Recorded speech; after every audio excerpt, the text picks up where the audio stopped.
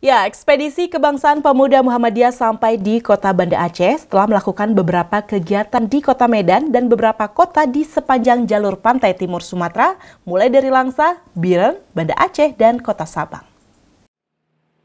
Dialog kebangsaan di kota Banda Aceh sama seperti yang berlangsung di kota Medan, berlangsung dalam suasana santai dan bersahabat. Atta Coffee menjadi lokasi dialog yang dikemas dengan tema Kopi Bungo dan Dialog Kebangsaan menggembirakan keberagaman memajukan Indonesia. Pada dialog yang dihadiri tokoh budaya dan lintas agama itu, menghadirkan tiga narasumber yakni Daniel Anzar Simanjuntak sebagai pimpinan ekspedisi kebangsaan, Tuanku Mirza Kemala Putra Aceh dan staf Menteri ESDM, dan Hardi, staf khusus Menteri ESDM. Daniel menjelaskan konsep ekspedisi kebangsaan yang dilakukan pemuda Muhammadiyah dari Sabang hingga Merauke. Pada ekspedisi kebangsaan itu, tim menggunakan skuter dan di beberapa kota yang disinggahi dilakukan dengan berbagai kegiatan seperti dialog kebangsaan dan bersih-bersih rumah ibadah.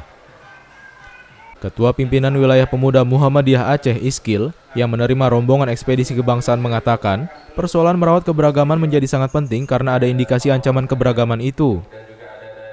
Iskil mengatakan, ekspedisi kebangsaan perlu mendapat dukungan dari eksponen pemuda lainnya.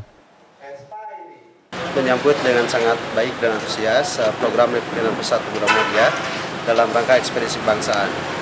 Nah, saya berpikir bahwa program ini sangat apa, sangat penting untuk dilaksanakan dalam rangka merawat keberagaman di Indonesia yang barangkali dalam akhir-akhir ini uh, seperti ada ada apa? Ada ada masalah sedikit gitu ya. Jadi uh, program pemuda Muhammadiyah mengambil gagasan untuk ekspedisi bangsaan ini.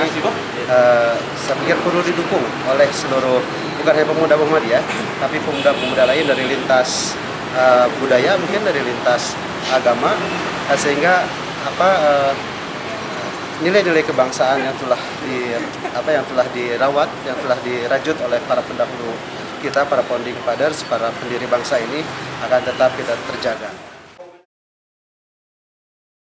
Tim ekspedisi kebangsaan sampai di Banda Aceh Ahad dini hari. Selanjutnya pada Ahad siang hari, tim berangkat menuju kota Sabang. Saiful Hadi, Agus Naidi Budaya, Yaumil Fauzi memberitakan dari kota Banda Aceh.